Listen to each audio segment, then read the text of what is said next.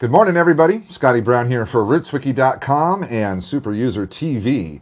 This morning, Google has announced the release of the hotly anticipated Google Drive service. Essentially, it's replacing your Google Docs online. Uh, there are some additional features that looks like they're going to be adding in the future, uh, but right now they've released a desktop client for your PC. They've also released an Android client for all of your Android devices. Uh, and uh, surprisingly well, uh, they've done a nice little refresh of the Google Docs interface when you go to drive.google.com. So I'm going to install the app here from the Google Play Store. I am running this on an HTC Sensation 4G, uh, running AOKP ROM 4.0.4, build number 32. So we'll get the app installed.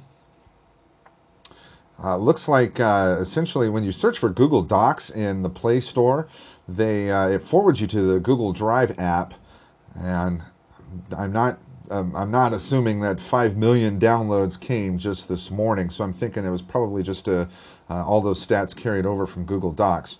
So let's go ahead and we'll open Drive. This is the initial setup. Uh, of course, you got to accept the terms of service. My Drive is home to your Google Docs, files, and folders. Upload any file from your device to My Drive, share them with anyone, and access them anywhere. Very nice. The UI on this is pretty slick. Uh, let's see, getting set up going here. Uh, first we'll go into My Drive. Essentially the UI has changed a bit from the Google Docs UI that you had. Your folders are at the top. Going to make it a lot easier finding stuff in the future. Looks like there's some options here to share. Share folders. There you go. Let's go into one of the folders and take a look. And here's my, uh, looks like I've got a bunch of, uh, got all my docs. So these are my, my outlines for the different episodes that we do. View one of these. Yeah, looks like it comes out pretty nicely. Renders well. Yeah, excellent. So that's, uh, the, the app is really smooth. Let's look into, uh, let's go into some settings, see what kind of settings we have. All right, we got a cache size, we can clear the cache. Uh, encryption is really nice. Data usage reminder, that's a, that's a real nice little feature there.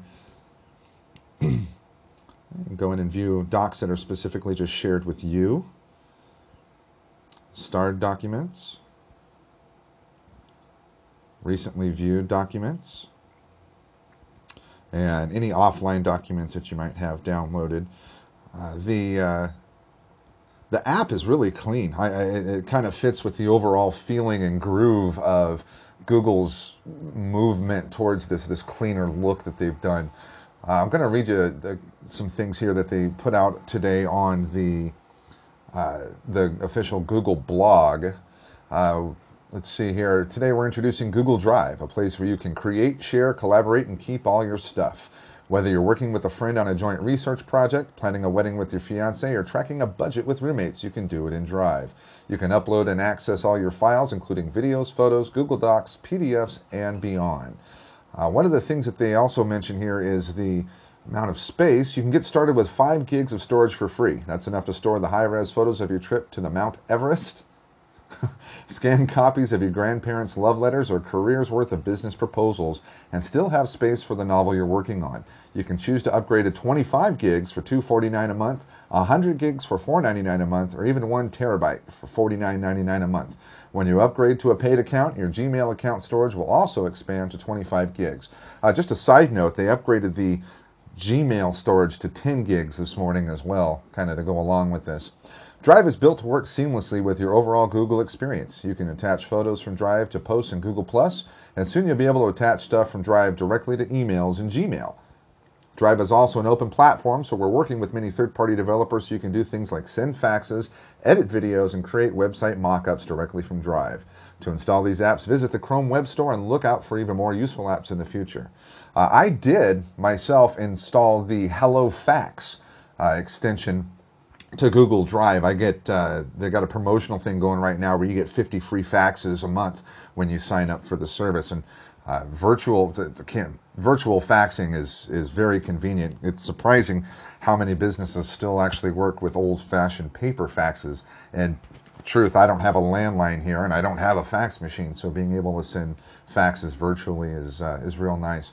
Uh, there has been uh, an SDK release this morning for Google Drive, so if you're a developer and you want to get working to uh, get us some goodies to go along with Google Drive, uh, be sure to hit that up and check it out.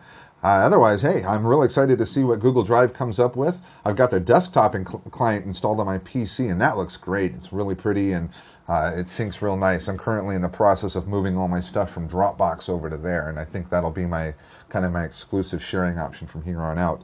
So, uh, anyways, that's just a kind of a brief look at Google Drive. Uh, make sure you're checking us out every Wednesday evening at 6 p.m. Pacific, 9 p.m. Eastern for Rootz Live. That's our live weekly broadcast where we get a bunch of fun people together and talk about the weekly Android news and also do developer and themer interviews from the website. Thanks a lot for watching. Got any questions or comments, hit me up down below and I'll be sure to answer them directly. Thanks so much and uh, enjoy Google Drive.